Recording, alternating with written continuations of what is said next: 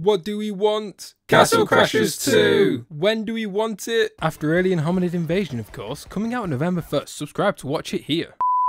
So it's no secret that everyone wants a sequel to the hugely successful and beloved Castle Crashers that came out all the way back in 2008, so roughly about 10 years ago.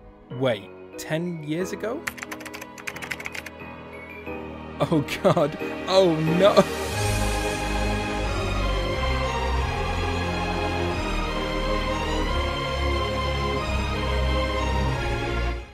So we all want it, but will Castle Crashers 2 ever be made? Let's look at the facts. So the Behemoth have released four mainstream games, that being Alien Hominid in 2004, Castle Crashers in 2008, Battle Block Theatre in 2013, and Pit People in 2017. If you had asked me if Castle Crashers 2 was possible a few years ago, I would have said no. But ask me now and I'll say, Maybe. That's because the Behemoth have stated multiple times that they do not want to make sequels to their games. They want to keep creating original content. The Behemoth want to see how far they can go before having to revisit a genre or make a sequel, and well, the Behemoth might have found that limit. Looking at Steam statistics for Castle Crashers, you can see that it had an all-time peak of 16,000 players, and this is the remastered version. Looking at the stats since the start of 2023, then you can see that Castle Crashers has anywhere from 600 to 3,000 peak players a month, and it has reportedly sold 9.4 million units on Steam alone. In fact, in 2019, Castle Crashers was reported to have sold over 20 million units, so it is safe to say that it was a massive success. Now looking at the statistics for Battle Block Theatre released after Castle Crashers, you can see that it had an all-time peak of 14,269 people, just a little bit below Castle Crashers. Since the start of 2023, Battle Block Theatre can have between 300 to 1600 peak players, but that 1686 peak players players is a bit of an anomaly. What happened in July 2023? BattleBlock Theatre has sold 5 million units on Steam, so still very successful. Now let's look at Pit People,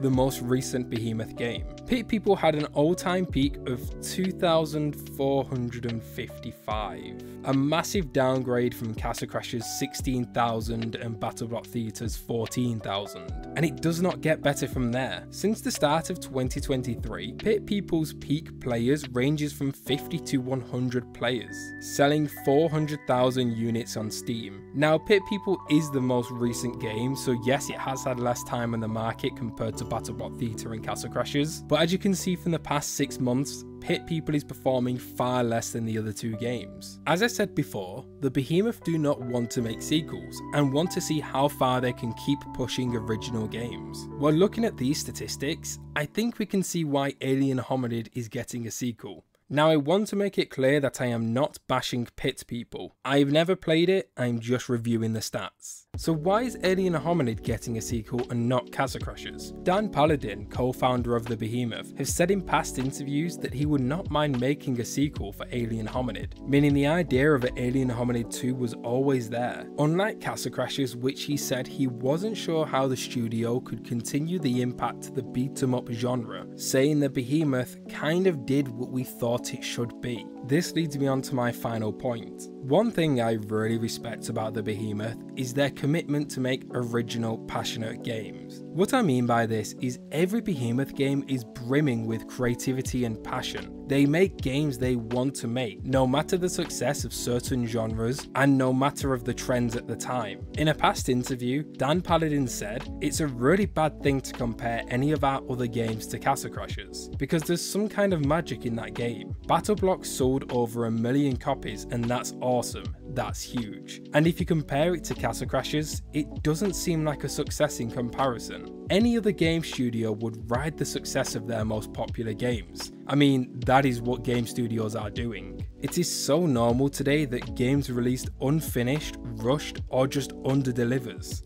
and it's now quite rare that we get a game that actually comes out finished and isn't riddled with microtransactions. The Behemoth is one of those companies that put their community before profits. They could have easily ridden the success of Castle Crashers and made sequel after sequel, or riddled the game with microtransactions, skins, or battle passes, but they didn't. They respect their community and they make games they want to make. And that is one aspect of gaming that seems to be lost nowadays passion. So let's bring it back to the original question. Will there ever be a Castle Crashers 2? I think this solely relies on two things. One being the success of Alien Hominid Invasion, the first sequel the Behemoth will ever make. If this game performs really well, then I can see there being an opportunity for more sequels in the future. But the second aspect once again is passion. If the Behemoth don't want to make a sequel to Castle Crashers, then they shouldn't make one. I would love a Castle Crashers 2, just like everyone else, but I would not like to see a lifeless game churned out for profits and community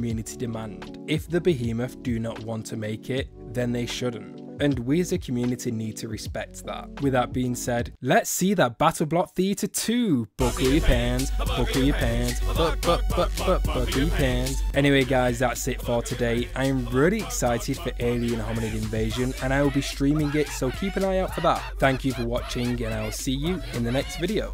Goodbye.